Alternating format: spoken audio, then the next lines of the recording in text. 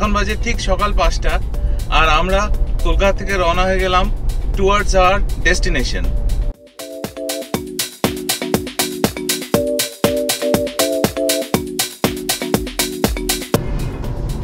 এই সামনের Y junction থেকে আমরা বাদিকে বেঁকে যাব টুয়ার্ডস খড়গপুর, আর ডান দিকের রাস্তাটা সোজা চলে যাচ্ছে বর্ধমান, দুর্গাপুর, আসানসোল।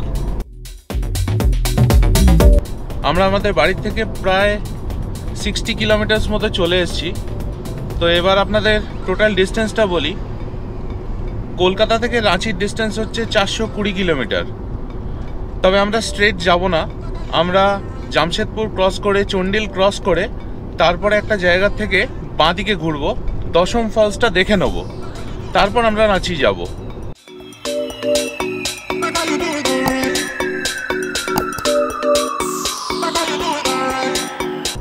আজকে এই হাইওয়েটায় চালিয়ে একটু মজা পাচ্ছি। কারণ দুর্গাপুর এক্সপ্রেসওয়েতে যখন চালাই অলমোস্ট বর্ধমান অবধি প্রচণ্ড ট্রাফিক থাকে। আজকে এখানে কিন্তু ট্রাফিকটা অত্যাধিক কম। জানি না, এটা নর্মাল কিনা? নাকি আজকে স্পেসিফিক্যালি আজকেই কম? জানি না সেটা, কিন্তু ভালো লাগছে চালিয়ে। লরি ট্রাফিক খুব কম। এখন বাজে ছটা তিরিশ, আর ঠিক আমরা দেড় ঘন্টায় পৌঁছে গেছি কোলাঘাট। এইখান থেকে বাঁদিকে চলে যাচ্ছে নন্দকুমার, দীঘা মন্দারমণির রাস্তা আর সোজা যাচ্ছে খড়গপুর। তো আমরা সোজাই যাচ্ছি এখন। খড়গপুরের আগে এই রাস্তাটা যতবার যাই ভালো লাগে, একই রকম ভালো লাগে। পুরো স্ট্রেচটা সোজা এবং এরকম থ্রি ক্রস থ্রি অসাধারণ রাস্তা। খড়গপুরের আগে এই জায়গাটা থেকে দুটো রাস্তা আলাদা হয়ে যাচ্ছে। একটা মুম্বাইয়ের দিকে যাচ্ছে, আর একটা চেন্নাইয়ের দিকে যাচ্ছে। তো এই জায়গাটা বেশ কনফিউজিং আমার খুব অসুবিধা হয়। ওই জন্য আমার ভরসা গাড়ির জিপিএস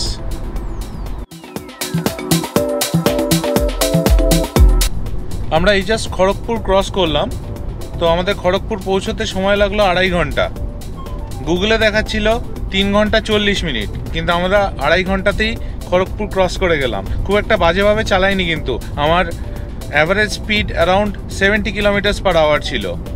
রাস্তাটা এতই খালি ছিল যে আমাকে গিয়ার শিফট বেশি করতে হয়নি স্পিড কমাতে হয়নি। ঠিকঠাকভাবে আমরা খড়গপুর ক্রস করে বেরিয়ে গেছি। এখন এগিয়ে যাচ্ছি লোধাশুলির দিকে। লোধাশুলি থেকে ডান দিকে গেলে ঝাড়গ্রাম। আমরা লোধাশুলি ক্রস করে পাহাড়াগোড়া অবধি যাব। তারপর জামশেদপুরের দিকে বেঁকবো।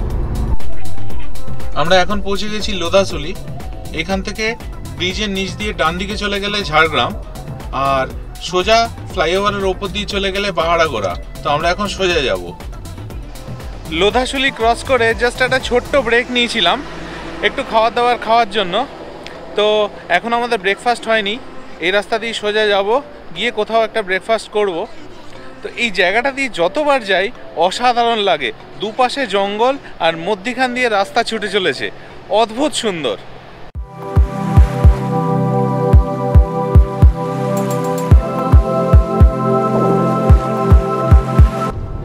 এক্ষুনি একটা অদ্ভুত জায়গার নাম জানতে পারলাম। সাইডে লেখা ছিল, নিরামিষপুর। বেশ সুন্দর লাগল। কোথাও কি আমিষপুর বলে কিছু আছে? কেউ যদি জানেন প্লিজ কমেন্ট করে বলবেন। আমি জানি না যদিও। তবে নিরামিষপুর নিশ্চয়ই আছে। এক্ষুনি দেখলাম, নিজের চোখে।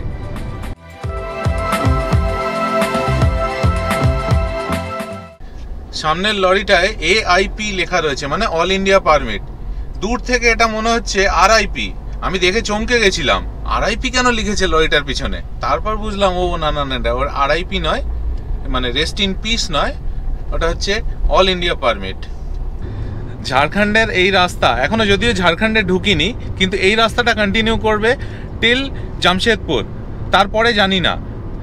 কারণ আগে আমি, আগের বছর আমি জামশেদপুর গেছিলাম, এই রাস্তাটা দিয়েই। তখন আমি জামশেদপুর ইনফ্যাক্ট চন্ডিল অব্দি গেছিলাম এই একই কোয়ালিটির রাস্তা দিয়ে। তুখোর ভালোবেসে ফেলেছি রাস্তাটাকে। এত ভালো কন্ডিশন আশা করা যায়, রাঁচি অবধি এরকমই রাস্তা পাবো। একটা ছোট্ট আপডেট এক্ষুনি বেঙ্গল বর্ডার ক্রস করলাম। মানে বেঙ্গল আর ঝাড়খণ্ডের বর্ডারটা ক্রস করলাম। কি করে বুঝলাম?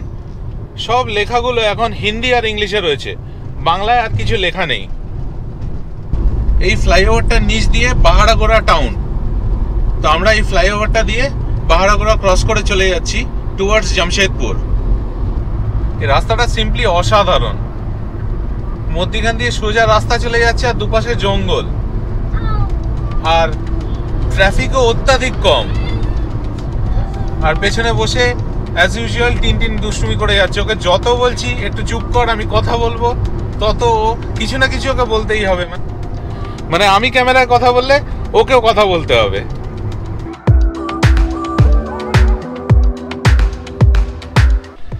এখন ঘড়িতে বাজে আটটা একান্ন, আর আমরা এই টোল প্লাজা ক্রস করে ঝাড়খণ্ডে দাঁড়িয়ে রয়েছি।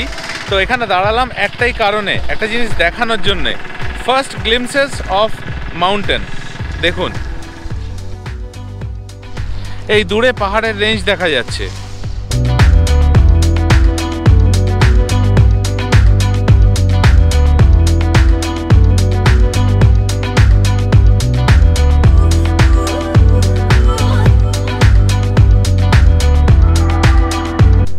আমরা এখন জামশেদপুর সিটি ক্রস করে চলে এলাম মানে বাইপাস করে চলে এলাম। তো একটাই প্রবলেম হয়েছে, দুটো হোটেল ছিল খুব ভালো, সেটা মিস করে চলে এসেছি, আর এখন আর কোনো হোটেল পাচ্ছি না। আর জামশেদপুর শহরের মধ্যে যে হোটেলগুলো আছে, সেগুলো অনিন্দিতা সার্চ করল, সব কটা ইলেভেন এম থেকে খুলবে। তো আমরা আপাতত ডিসাইড করলাম যে রাঁচির দিকে এগিয়ে যাব, গিয়ে এখানে আশেপাশে কোনো হোটেল পেলে সেখানে ব্রেকফাস্ট করব। এখন ঘড়িতে বাজে দশটা আর আমরা এসে পৌঁছেছি হোটেল হিল ভিউ। এটা হচ্ছে জামশেদপুর রাঁচি হাইওয়ের একদম ওপরেই। তো এখানে ব্রেকফাস্ট করব, তারপর বেরোবো। আমাদের এই ট্রিপে কি কি খরচা হচ্ছে, সব আমি হিসেব করে ভিডিওতে জানাতে থাকব। তাই আপনারা ভিডিওগুলো দেখতে থাকুন। আর এখানে টোটাল কস্টের সাথেও আমার টোল কত লেগেছে ফুয়েল কত লেগেছে, হোটেলে কত খরচা হয়েছে খাওয়া দাওয়া কত খরচা হয়েছে সব কিছু আমি দিতে থাকব। যাতে আপনারা ভালো করে এই ট্রিপটা প্ল্যান করতে পারেন। তো ভিডিওগুলো দেখতে থাকুন আর সঙ্গে থাকুন।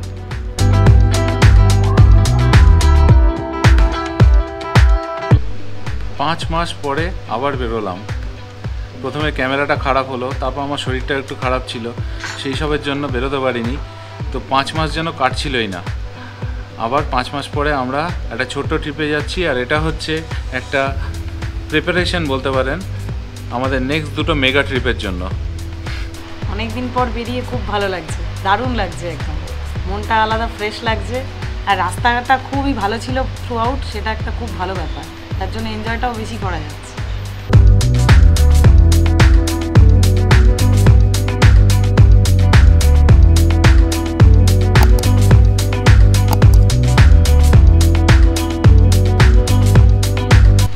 ব্রেকফাস্ট শুরু হয়ে গেছে, আর সাথে সাথে চলে এসেছে আমাদের ব্ল্যাক টি উইথ লেবু আর বিট নুন। এবার লেবু চাটা বানানো যাক।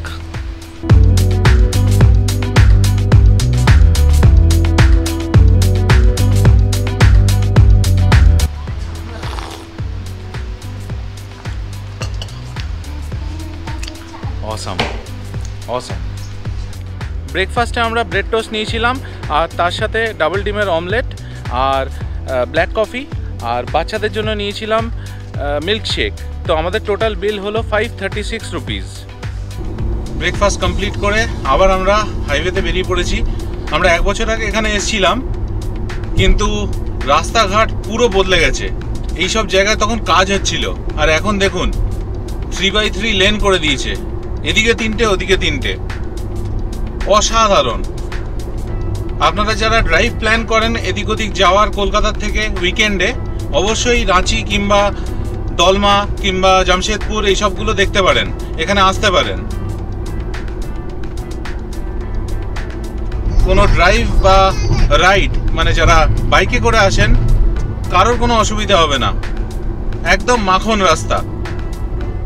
এই যে আমরা ব্রিজটা দিয়ে যাচ্ছি, এটার আগে একটা বোর্ডে লেখা রয়েছে এলিফ্যান্ট আন্ডারপাস তার মানে গাড়িগুলো ওপর দিয়ে যাচ্ছে, আর নিচ দিয়ে এলিফ্যান্টের যাওয়ার জন্য মানে হাতির যাওয়ার জন্য জায়গা করা রয়েছে। এক বছর আগে আমরা যে রাস্তা দিয়ে দলমায় গেছিলাম, সেই রাস্তার সামনে এসে দাঁড়িয়েছি। সেই চেনা জায়গা।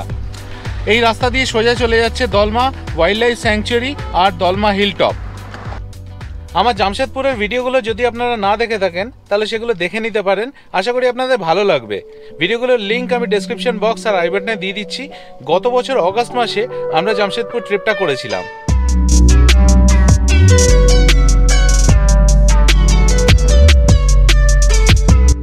রাঁচি যাওয়ার সময় আমি কোনো ড্রোন শটস নিলাম না। কারণ আমি ভাবলাম, রাঁচি তাড়াতাড়ি পৌঁছে যাই, দশম ফলস দেখে। ড্রোন শটস তো আসার সময় নেওয়াই যাবে। আর এটা ভেবেই করে ফেললাম একটা বিরাট বড় ভুল। কারণ ফেরার সময় আর ড্রোন শটস তোলাই হলো না। কারণটা আমি রাঁচি সিরিজের আমার তৃতীয় আর শেষ ভিডিওতে বলব।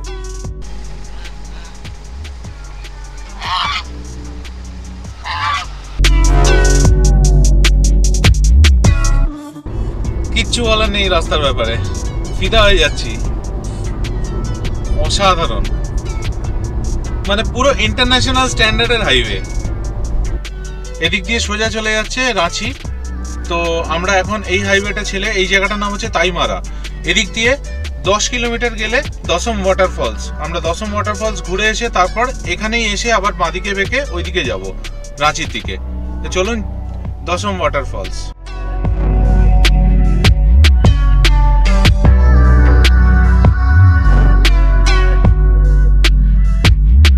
কলকাতা থেকে রাঁচি পৌঁছতে আমাদের টোটাল টোল লেগেছে পাঁচশো পঁয়ষট্টি টাকা। এসে পৌঁছলাম দশম ওয়াটার ফলস এখানে ঢুকতেই পার্কিং হচ্ছে পার ভেহিকল পঞ্চাশ টাকা। পার্কিং থেকেই আমরা প্রথম ভিউটা পেলাম দশম ওয়াটার ফলসের এরপরে আমরা আরও নিচে যাব।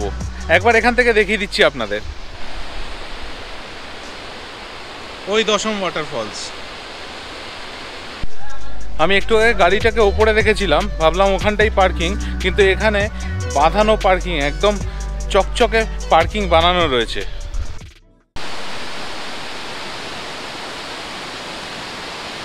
দশম ফলস রাঁচির থেকে আটত্রিশ কিলোমিটার দূরে অবস্থিত, আর এই দশম ফলস একশো চুয়াল্লিশ ফিট উঁচু।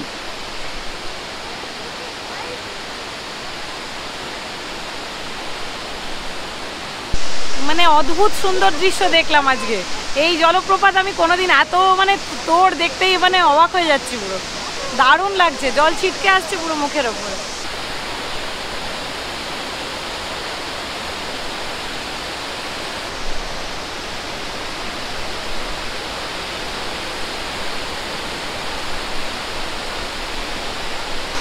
আমরা এখন দশম ওয়াটারফলসের পুরো সামনে চলে এসেছি। এখানে এত জলের তোর জলের এত ছাঁট আসছে, আমি বলে বোঝাতে পারব না। মুখ চোখে জল লেগে যাচ্ছে। কিন্তু এটা অদ্ভুত দৃশ্য। এখানে যদি আপনারা আসেন, সব সময় চেষ্টা করবেন বর্ষার সময় কিংবা বর্ষার পর পরই আসতে। কারণ এই যে ফোর্সটা জলের যে ফোর্সটা এটা বৃষ্টির পরপরই বোঝা যায়। আপনাদের আরও কয়েকটা ইনফরমেশন দিয়ে দিই। ওপর থেকে নিচে আসার সময় আপনারা বেশ কয়েকটা ভিউ পয়েন্ট করতে পারবেন। যারা একদম নিচে আসতে চাইবেন না, তারা বেশ কয়েকটা ভিউ পয়েন্ট থেকে বিভিন্ন জায়গা থেকে আপনারা জলপ্রপাতটা দেখতে পাবেন। আর ওপর থেকে নিচ অবধি দুশো কুড়ি থেকে দুশো তিরিশটা স্টেপস আপনাদের নিচে আসতে হবে। আবার দুশো কুড়ি থেকে দুশো তিরিশটা স্টেপ আপনাকে ক্রস করে ওপরে উঠতে হবে। এটা মাথায় রাখবেন নিচে আসার সময়। আরেকটা ইনফরমেশন হচ্ছে এখানে শুধু পার্কিংটাই নেওয়া হয় জলপ্রপাতের আলাদা করে কোনো ফি বা টিকিট নেই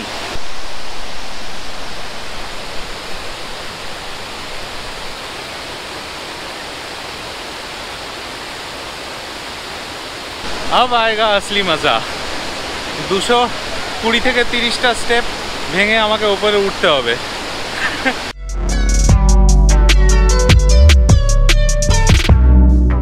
গরমে ভীষণ টায়ার্ড হয়ে গেছি। সবাই এই লস্যি খেয়ে নিল। এখন আমার তো আর গাড়ি দাঁড় করিয়ে খাওয়া মানে টাইম ওয়েস্ট করা। তো এইভাবেই খাচ্ছি।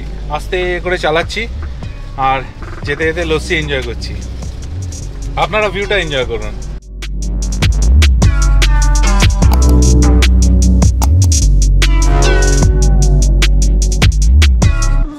দশম ওয়াটারফলস দেখে আমরা এই গ্রামের রাস্তা দিয়ে দশ কিলোমিটার বাইরে এলাম। এবার হাইওয়েতে পড়েছি, যেটা জামশেদপুর রাঁচি হাইওয়ে যতক্ষণ আমরা ন্যাশনাল হাইওয়ে থার্টি থ্রি ছেড়ে দশম ওয়াটারফলস দেখতে গেছিলাম, দশ কিলোমিটার যাওয়া এবং দশ কিলোমিটার আসা ততক্ষণই ন্যাশনাল হাইওয়ে থার্টি থ্রিকে ভীষণ মিস করছিলাম। এই কোয়ালিটি অফ দ্য রোড মানে অসাম ভেতরের রাস্তাটার ব্যাপারে একটু বলে দিই। ভেতরের রাস্তাটা গ্রামের রাস্তা, ছোট রাস্তা খুব একটা খারাপ নয়, কিন্তু আবার খুব একটা ভালোও নয়। খুব সরু রাস্তা, গর্ত আছে, আবার কিছু কিছু জায়গা বেশ ভালো। তো অন অ্যান অ্যাভারেজ রাস্তার কন্ডিশন ঠিকঠাক।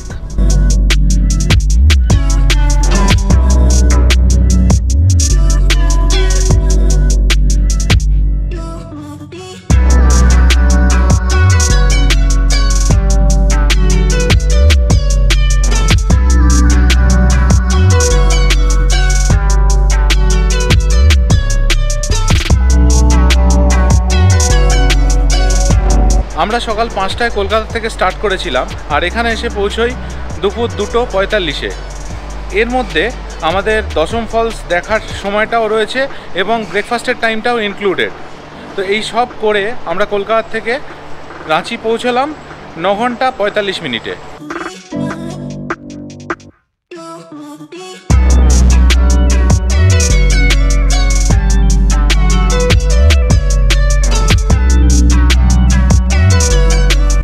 পৌঁছে গেছি হোটেল বিরসা বিহার, রাঁচিতে। আপনাদের টুক করে আমাদের রুমটা দেখিয়ে দিই। এটা হচ্ছে আমাদের রুম। রুমে ঢুকেই এপাশে হচ্ছে বাথরুম, এখানে একটা বড় ওয়ার্ড্রোব আর এটা হচ্ছে আমাদের রুম, এখানে একটা বড় ডাবল সাইজ বেড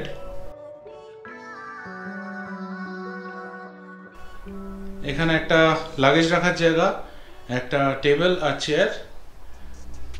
বেডের দুপাশে দুটো সাইড টেবিল এখানে একটা জানলা আছে, তবে জানলাটা পেছন দিকে। আলো আছে বাট কিছু ভিউ নেই। আর এসি আছে টিভি আছে, এখানে আরেকটা জায়গা আছে। ছোটোখাটো কিছু রাখার যেমন জলের বোতল রেখেছি ড্রোন রেখেছি ছোট ব্যাগ রেখেছি ডাস্টবিন আছে। এখানে একটা বড় আয়না রয়েছে। এটা হচ্ছে বাথরুম বাথরুমটা ছোট, কিন্তু পরিষ্কার নিট অ্যান্ড ক্লিন এখানে একটা বড় আয়না বেসিন স্নান করার জায়গা আর এপাশে হচ্ছে কমোড আর ওপরে একটা বড় গিজার ফিট করা। আমরা যে হোটেল বিশা বিহারে এসছি এখানে যে রুমটা নিয়েছি সেটার ভাড়া দু হাজার টাকা প্লাস জিএসটি পার ডে তো আমাদের দুদিনের জন্য পড়ছে চার হাজার টাকা প্লাস জিএসটি তো কেমন লাগছে? খুব ভালো দারুণ রুম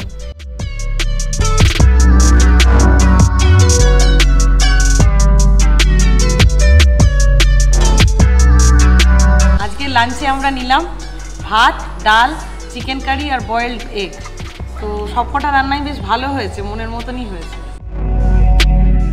আপনাদের যদি কোনো কমেন্টস বা কোয়েশ্চেন্স থাকে, তাহলে প্লিজ আমাদের কমেন্ট বক্সে লিখে জানাবেন। আজকের ডিনারের জন্য আমরা নিলাম রুটি, কষা মাংস, তার সাথে দুধ নিয়েছি বাচ্চাদের জন্য, দুধের সাথে একটু চিনি আর স্যালাড। আজকে ব্লগটা আমি এখানেই শেষ করলাম। কালকে ফুল ডে আমাদের প্ল্যান আছে। তো সঙ্গে থাকবেন। কালকের প্ল্যানগুলো নেক্সট ভিডিওতে আসবে। আর এই ভিডিওটা যদি আপনাদের ভালো লাগে প্লিজ ভিডিওটা লাইক আর শেয়ার করবেন। আর আমার চ্যানেলটা সাবস্ক্রাইব করবেন।